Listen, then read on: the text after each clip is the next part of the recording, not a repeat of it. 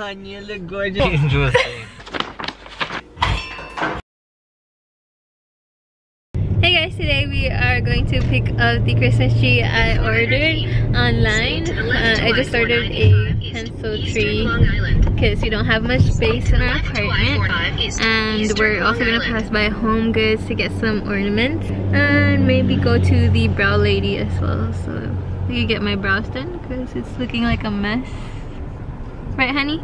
Yeah. Huh? You're supposed to say no.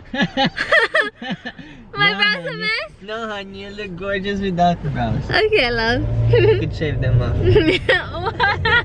You're so mean. I love you. I love you too. We just got our eyebrows done. And Stas got his eyebrows done for the first time. Looking good. I was dying in the corner. Because I know it's going to be painful because he has really thick eyebrows. And it's his first time. So I was just imagining the pain he was going through and I couldn't help but laugh. Love how did it feel? Interesting. hey, you should have heard him. He said that it sounds like um, she's pulling hair out of her head, like.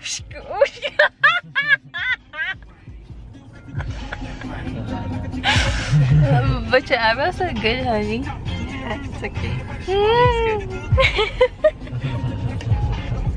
so I want to show you guys the ornaments that I got from different stores. So these are the stuff laid out.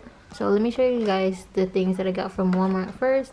So I got two boxes of these um, silver and gold ornaments because I'm going for a silver, gold, and white theme for my Christmas tree. And um, also a little rustic looking one.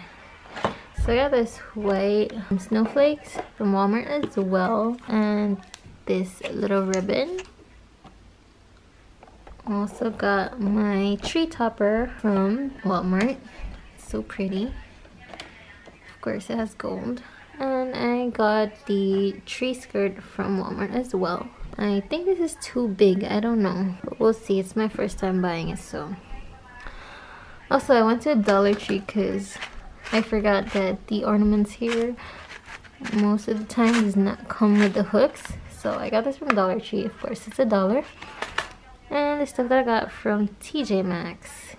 Uh, I mentioned earlier that I wanted also a little bit of rustic look, so I bought these pine cones. Stas wasn't happy about this. I actually first saw this Home Goods, but he didn't want to agree for me to pay $12 for these, or I think 13 bucks for these. So I put it down and we went to TJ Maxx and I saw it again, so I was like, I have to get it. Also, I got this ribbon from TJ Maxx. I feel like it goes with my theme. So yeah, I'll show you guys the decorated tree or I'm gonna show you while we're decorating it. So Stas stepped out so I can't decorate the tree yet. I need some help.